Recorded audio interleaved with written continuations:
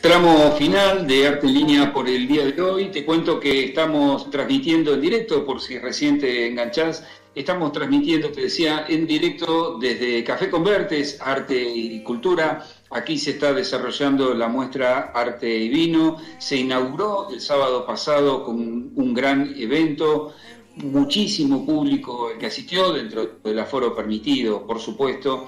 Se realizó una cata de vinos deliciosos realmente, y hubo jazz, hubo música, hubo tango, se disfrutó mucho, realmente fue una alegría este encuentro de las distintas artes eh, combinadas. Y ahora tenemos el gusto de poder dialogar, de tener como invitada a través de nuestra plataforma a la artista plástica Belén Elorrieta. Ella es licenciada en artes plásticas por la Universidad Complutense de Madrid, tiene un enorme recorrido en su haber en la docencia, en el campo de la plástica, con muestras y premios. Belén, un placer poder compartir este momento del programa con vos. ¿Cómo estás? Lo mismo, buenas tardes a todos. Encantado. Bueno, un, gusto grande, espero que nos podamos encontrar prontamente. Estás con algunos temas personales que por el momento no te lo permiten, pero sí nos podemos dar este gran gusto de poder hablar eh, sobre tu obra y la presencia de tu obra acá en Café Convertes.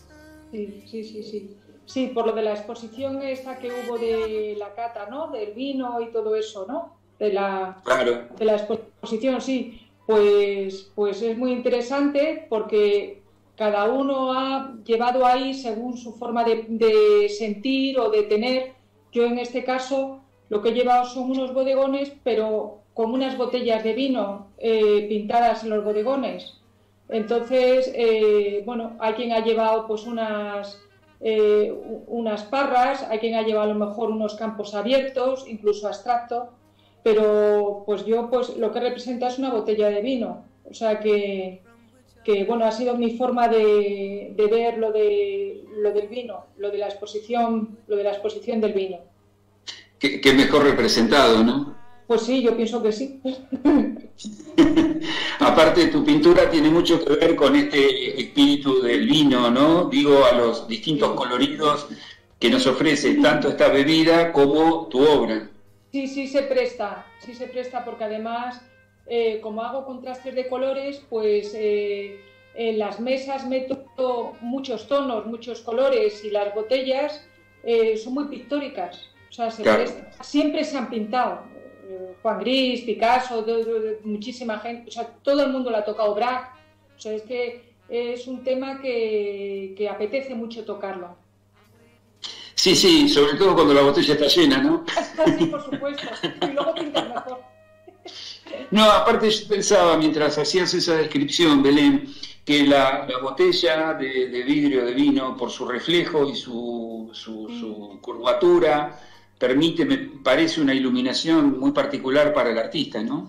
Sí, porque ofrece diferentes tonos eh, variados, eh, aunque sea oscura la botella, mm, ves muchos colores. O sea, la botella no la ves negra ni la ves de un color oscuro, o sea, ves muchos matices dentro de la, o sea, en los reflejos de la botella. Yo no soy realista, soy colorista, pero, pero, pero te, te hace para que puedas pintar eh, pincelada sobre pincelada y te, da matices. Incluso puedes sacar de ahí, mm, te digo, hasta azules, en los fríos, eh, tonos granates, en los colores cálidos, o sea, lo que es el, el, bordeado de la botella.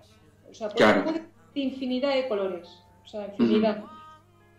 Em, ahora que hablas del bordeado de la botella, viendo tu obra acá en esta muestra, y recordando la, obra tuya que tuve el, gusto de apreciar en la Feria de Arte que se realizó en diciembre acá en, Madrid, también con Café con Artes y Para mí fue un placer también, sí. Sí, claro que sí. Este, me da la impresión de que el color es tan importante en tu obra, porque se te ve como una pintora colorista, que llega inclusive en muchos casos a reemplazar la línea, ¿no? que es otro elemento importante. Sí, sí, la línea, eh, yo parto siempre de la línea, yo dibujo a línea, pero luego llega un momento que las masas, eh, la pintura, eh, o sea, suprimo la línea y hago masas de formas de colores. Entonces, color con color. contrastes de colores, pero empiezo dibujando a línea, aunque luego lo suprimo. Claro. puedo, a lo mejor en un momento dado, si cojo y hago un dibujo a línea o arabescos, pero eh, suelo sustituirlo. Y eso que empiezo con dibujo a línea. Como los expresionistas alemanes que dibujaban a línea, normalmente los coloristas mm, eh, luego utilizan masas de colores en lugar de basarse en la línea y rellenar de color, normalmente. Claro. o sea que vos, el, proceso, en el inicio de tu obra, eh, haces un boceto a lápiz y... O, a lápiz o a tinta, o sí, suelo utilizar, eh, siempre parto de un boceto. Claro. suelo dibujar a línea, o bien plumilla, o el lápiz, o sí, más que utilizar claro oscuro, hombre, puedo, puedo sombrear, pero normalmente lo que me gusta son marcar como los contornos o sea, para saber dónde va a ir las formas. Eso es lo que me ayuda. Eh, aunque luego utilice variaciones de dibujo y diga, bueno, pues aquí voy a meter este color y entonces ya utilizo lápices de colores o barras o lápiz pastel, pero, pero empiezo con dibujo en línea, muy simplificada. Claro. Como utiliza, me gusta ver las masas de colores colocadas en el lienzo. Y luego ya modulo, modulo, o sea, no me quedo solamente en plano, pero modulo dentro de, esos tonos, dentro de esos planos. Sí, sí, porque además tu pintura es rica en texturas, ¿no? Sí, parece que soy, que es muy simplificado, pero no. Medito mucho la pintura y, pongo muchas capas, aunque parece, que, aunque parece que no, no es así. O sea, me gusta poner capa sobre capa y aprovecho la que está debajo, hago como, como un fondo, como un fondeo y, me gusta que entrever lo que hay debajo que asome. Entonces, eh, cuando está el pincel seco o en húmedo, entonces te da unas veladuras muy bonitas. Nunca parto el blanco, nunca utilizo, o sea, nunca parto el lienzo blanco. Siempre tengo una masa debajo de colores. Mira, esto de que vos hagas el dibujo previo quiere decir también de alguna manera que vos ya vas a la tela eh, con una idea definida de lo que querés hacer. Siempre, siempre. Tengo que tener un dibujo, una nunca, nunca parto de, uy, a ver qué me sale. No, no, siempre tengo que tener mi idea, aunque luego la varíe, la puedo cambiar. No me gusta, quito, un quito una parte, eh, pongo otra, pero siempre parto de algo. O sea, todo eso de empezar eh, abstracto no. Claro. ¿Y, esa modificación la haces vos o te la hace la pintura vos? Eh, pues el boceto me gusta. Por ejemplo, cuando yo me gusta el dibujo, el parto y eso lo pongo en el lienzo. Cuando lo pongo en el lienzo, muchas veces no me gusta. Digo, uy, me gusta el boceto, pero no me gusta el lienzo. Y entonces ya es cuando ya voy cambiando, porque veo que no funciona o, o a lo mejor no estoy, o sea, entonces ya voy variándolo, sí, sobre el lienzo es cuando me va marcando el cambio. Por ejemplo, no es lo mismo un boceto pequeño que cuando luego te pones a hacer un cuadro grande, o sea, el cuadro grande a lo mejor te pide de otras cosas diferentes, entonces ya tienes que cambiar, y entonces hago más bocetos, o sea, no hago otros bocetos diferentes, no me quedo solo en el primero. Una, vez un, pintor importante de Buenos Aires eh, me dijo que, era, me lo dijo así entre risas, eh, era más difícil un cuadro pequeño que un cuadro grande. También, también. Es difícil todo. es difícil todo. Hasta el pequeñito eh, le estás dando vueltas, o sea, a lo mejor a la primera, ni a la segunda ni a la tercera te sale tienes que taparlo. Dices, esto es un fracaso. O sea, todo, todo en todos los lados, no solamente pintura, tiene su dificultad. Y a veces tienes la genialidad de que te sale mm, relativamente rápido y otras veces requiere, bueno, el cuadro darle la vuelta, dejarlo aparcado y, y, dejarlo descansar y con el tiempo a lo mejor lo solucionas o a lo mejor no y sigues ahí dejándolo aparcado. Yo muchas veces que tapo los cuadros y, y porque no estoy, y a lo mejor luego me arrepiento, pero a lo mejor digo esto no, y pinto a lo mejor encima y saco cosas buenas. O sea, no lo sabes. Grande, mediano, pequeño, es complicado. O sea, para quedar todo justo y tranquilo es complicado. Claro, vos dijiste algo muy interesante que es que pensabas la pintura, ¿no? O sea, no solo la acción, sino también este, ir recreando la imagen en tu cabeza. Mucho, me da, porque yo, por ejemplo, la técnica, cada uno tiene su técnica. Yo creo que mi técnica ya la tengo, pero lo que tengo que hacer, bueno, aunque luego puedes tener variaciones o utilizar otras cosas, o sea, pero lo que es difícil es, para mí el inicio es, la idea. Empezar con qué idea vas a poner en el lienzo. Y luego ya ponerte a pintar y luego ya, claro, pues lo mismo te funciona o no te funcionan los colores o la pincelada. Eso no quiere decir que la técnica me vaya a solucionar el cuadro, pero el inicio es difícil. O sea, porque yo no soy de las que, uy, ya me saldrá, ahora pinto aquí una cosa y además que se nota que mi pintura está meditada. Que luego a lo mejor cambie o tenga que hacer más bocetos porque no me gusta lo que tengo en el lienzo, pero me, me cuesta mucho empezar la idea. Mucho. Y, en cuanto a esta idea, ¿qué es lo que nutre tus imágenes? ¿Con qué te vas nutriendo para lograr tu obra y las distintas temáticas que vas abarcando? ¿no? Porque si hay algo que caracteriza tu obra es que no se repite. Sí, ah, bueno, pues muchas gracias, Pablo. bueno, lo que tengo temática variada, lo que, lo que luego hago es, eh, aparte de los, los colores o eh, intentar cambiarlos o porque te lo pide, o sea, cambiarlos, pues las, eh, meter figuras o, u objetos o animales o, hacer montajes. Los montajes los hago eh, pues, pues, pues con bocetos. O sea, a lo mejor tengo una ciudad, pero veo que me falta algo a esa ciudad. Y entonces meto a lo mejor pues figuras delante o unas figuras corriendo dentro de la ciudad porque nunca, mm, por ejemplo, mis paisajes nunca los dejo solos, siempre los habito con personas o con animales o con, eh, con colores, pero nunca dejo una calle sola o nunca dejo un, puerto. Si, si, pinto un puerto me gusta poner barcos o barcas y si puedo pongo figuras dentro de esa barca. Eh, o pescando, o me gusta que haya como un diálogo, que haya Mm, no sé, que, haya como una, como una comunicación. Me gusta mucho la figura dentro de un paisaje, o una figura sola, o, o, una figura en bodegón, o un bodegón, o sea, pero me gusta mezclar, no quedarme solo con, una, con un tema. Aunque también lo he hecho, ¿eh? También lo he hecho. Claro, claro. El trabajo del artista plástico sea quizás el más solitario de todos los trabajos o labores artísticas, ¿no? ¿Cómo, ¿Cómo te llevaste con tu obra durante esta pandemia que quizás hizo que te pudieras encontrar más con vos y con tu pintura, con tu arte? Sí, sí, pues la verdad que, que uno está solo trabajando.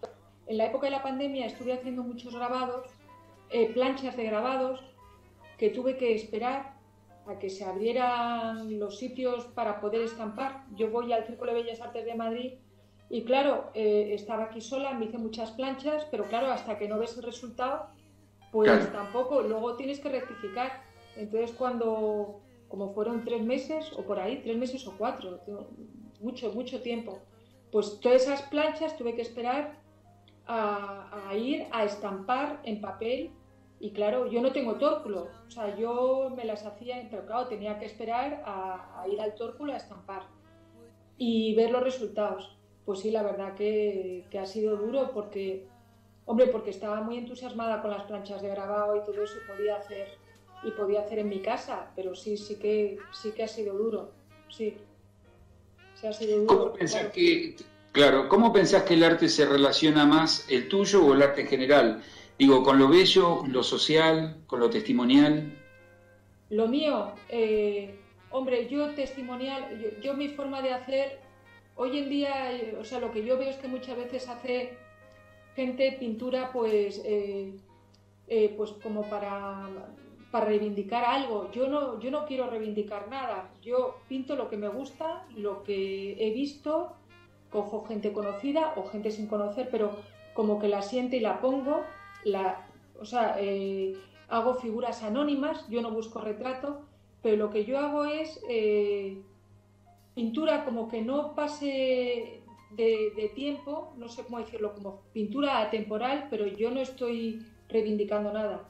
Hago lo que me gusta y, y, ya está. O sea, mi, mi pintura, eh, pues bella, a lo mejor alguien dirá que no es bella. A mí yo lo, puedo llamarlo costumbrista, eh, eh, intimista, más que costumbrista, intimista. Son temas vividos por mí y si no, pues han pasado por mi filtro. Yo luego cambio mm, los colores, los hago míos y, bueno, y eso es lo que yo siento. Intento, o sea, sincera, sincera, por lo menos sincera. Y luego que conecte y que no conecte, pero desde luego no reivindico no, nada con ello. No es. No, estoy reclamando ni exigiendo lo que hoy sucede en el mundo o lo que está pasando, porque, porque yo lo que quiero es pintar lo mío. No es, Eso lo puedo dejar claro que es así. Claro, pintas tu mundo de alguna manera también testimonia, ¿no? Porque la obra de arte siempre nos relaciona con las emociones. Claro, claro, pero mío. O sea, no, lo que sucede, pues a lo mejor estas tragedias que suceden y todo eso, que a todo el mundo nos llega y a todo el mundo nos afecta. Eh, mi pintura es un poco como mi vía de escape, es mi testimonio. Claro, ahí está. Em, ¿Con la docencia, has dejado la docencia para dedicarte íntegramente a la pintura o estás llevando algunos talleres? Sí, estuve, sí, estuve, bueno, los talleres fueron esporádicos, o sea que ahora no estoy con docencia. Eh, yo estuve dando clases en colegios mm, privados, concertados, hace años.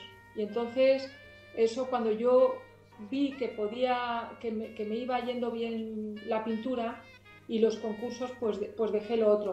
No quiero decir porque también aprendí mucho de ello, pero, pero también me quitaba mucho tiempo y como, como vi que me iba bien, pues ya di el salto y, me dediqué a la pintura. Pero también la experiencia de dar clases también fue muy positiva. ¿eh? También daba clases de dibujo técnico, no era solamente dar clases de plástica. Y aprendí mucho. O sea que todo, todo es bueno. Claro. ahora ya no, ahora ya no. Ahora estoy con, con la pintura y con el grabado y cosas referentes a pintura pinto también sobre porcelana, bueno, ahora por cuestiones, bueno, físicas que estoy y tal, pero sí pintaba sobre platos de porcelana, para, llevando mi pintura ahí y también, también me gusta mucho.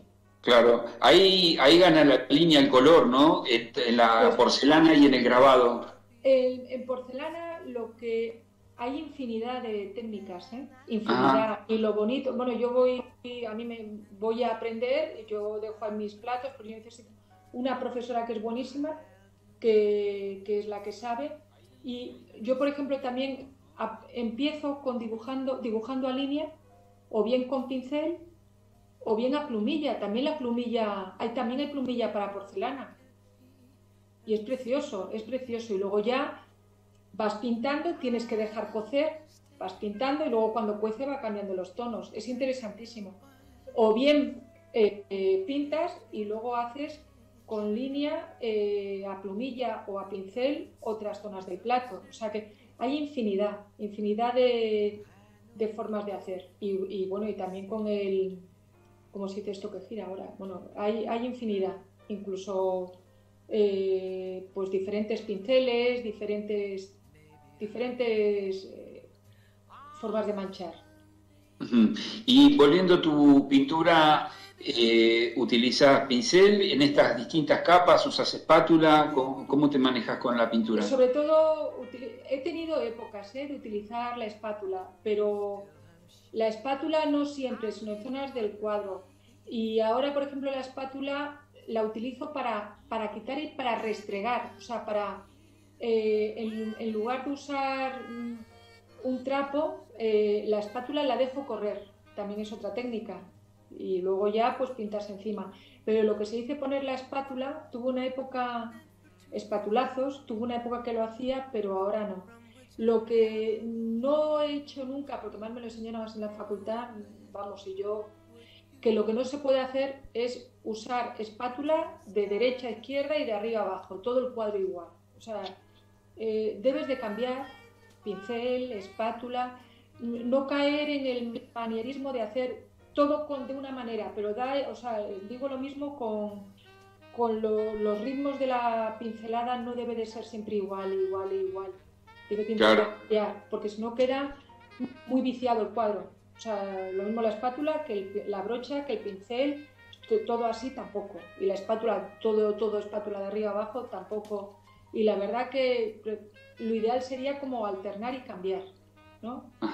Pero vamos, ahora no estoy usando espátula más que para arrastrar, eso sí. Claro. Tengo una pincelada, no me gusta y arrastro. O sea, lo arrastro y, quedan unas calidades muy buenas. ¿Usas otros elementos para tus cuadros aparte de la pintura?